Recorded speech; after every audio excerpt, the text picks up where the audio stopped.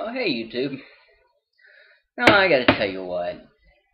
You crazy conspiracy people. You guys just never cease to amaze me. I don't know where you come up with all this crazy stuff, but I, I, I'm reading some of these crazy books from some of these crazy conspiracy people who, I mean, for instance, this book, I mean, this book these people think that there's a a small percentage of uh, people that control the world, like three percent of the population's really, you know, controlling the entire world, and uh, and they're actually uh, famous people, wealthy people, uh, people in uh, society, you know, that are controlling things, and and it goes on and on and on. All this crazy stuff about how they want to actually kill us. Like they've got this plan that 3% of the population is going to actually exterminate the other 97%. Right. It's just crazy. But then it goes on to say that, you know, they develop these weapons. Like, here's another crazy conspiracy. This one, this Jerry E. Smith guy, I don't know what he's thinking. I mean, he's obviously drinking that Kool-Aid but this guy, he, Jerry Smith, he wrote this book called HAARP, The Ultimate Weapon of the Conspiracy.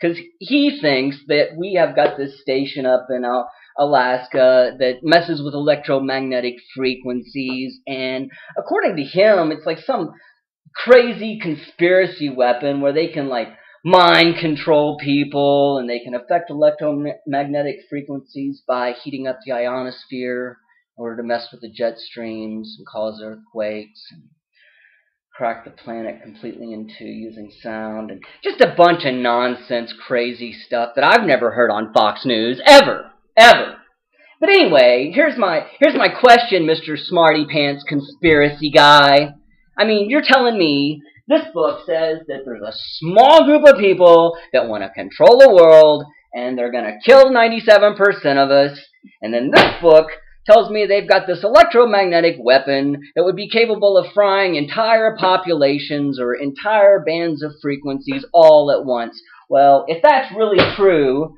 you crazy conspiracy people, then why don't we see it?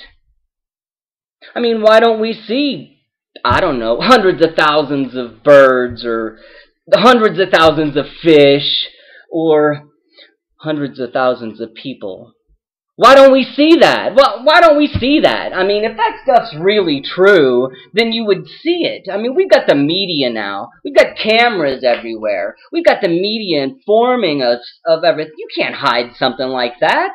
I mean, how could that possibly be true? Crazy. Crazy conspiracies. I'm going to go watch Fox News.